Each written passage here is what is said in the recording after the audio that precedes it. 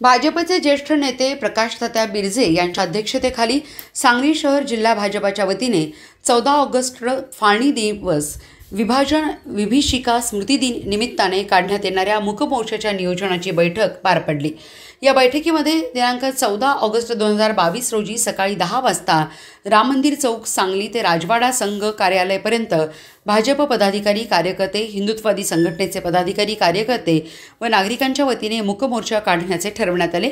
या मुकमोर्चात सर्वांनी बहुसंख्येने सामील व्हावे असे आवाहन या बैठकीत करण्यात आले. यावेळी माजी आमदार नितीन शिंदे म्हणाले पंच्याहत्तर वर्षापूर्वी देशाला स्वातंत्र्य मिळवून देण्यासाठी ज्या क्रांतिकारकांनी देशभक्तांनी आपल्या प्राणाची आहुती दिली देशासाठी बलिदान दिले व देशाला स्वातंत्र्य मिळवून दिले अशा वीरांना अभिवादन करण्यासाठी तसेच देशाला मिळालेल्या स्वातंत्र्यानंतर काही राजकर्त्यांच्या चुकीमुळे अखंड भारताला फाळणीला सामोरं जावं लागलं फाळणीच्या काळात देशाच्या सीमा भागामध्ये झालेल्या जातीय दंगलीमुळे सिंधी व शीख कुटुंबियांना स्थलांतरित व्हावे लागले. हजारो निष्पाप नागरिकांना आपल्या प्राणाची आहुती द्यावी लागली. या माणुसकीला काळीमा फासणाऱ्या घटनेची या देशामध्ये पुनरावृत्ती होऊ नये. हे देश ये देश झुकवेंगे नाही बाटेंगे नाही. या देशासाठी भारतीय जनता पार्टीच्या वतीने देशभर हे मुकमोर्चे काढत आहोत. यावेळी प्रकाशदत्ता बिर्जे यांनी एकोणीसशे सत्तेचाळीसच्या फाळणीच्या काळात देशात घडलेल्या माणुसकीला काळीमा फासणाऱ्या जातीय दंगलीची माहिती सांगितली. पुन्हा अशा प्रकारची फाळणी देशाला परवडणार नाही यासाठी सर्वांनी संघटित व्हावे असे आवाहन केले. याप्रसंगी माजी आमदार दिनकर तात्या पाटील प्रदेश कार्यकारिणी सचिव पैलवान पृथ्वीराज पवार प्रदेश भाजपा अनुसूचित मोर्चाचे सरचिटणीस मोहन वनखंडे संघटन मंत्री दीपक माने ओबीसी मोर्चाचे अमर पडळकर यांची भाषणे झाली. या बैठकीमध्ये स्वागत व प्रस्तावना जिल्हा सरचिटणीस अविनाश मोहिते यांनी केले. नगरसेविका सौ स स्वाती शिंदे नगरसेवक युवराज बावडेकर सुब्राव तात्या मद्रासी गणेश माळी पांडुरंग कोरे बाळासाहेब मोहिते प्रियानंद कांबळे बाळासाहेब पाटील निलेश शिंगमेरे पदाधिकारी कार्यकर्ते उपस्थित होते. ऑगस्ट.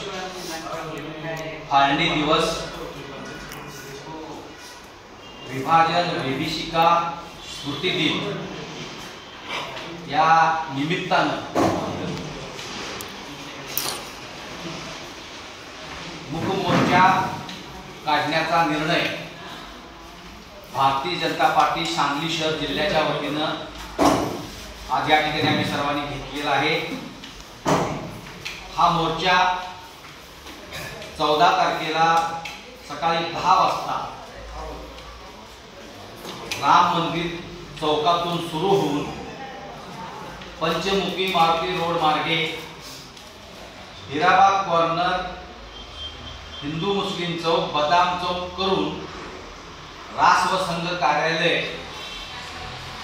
येथे विसर्जित होणार आहे.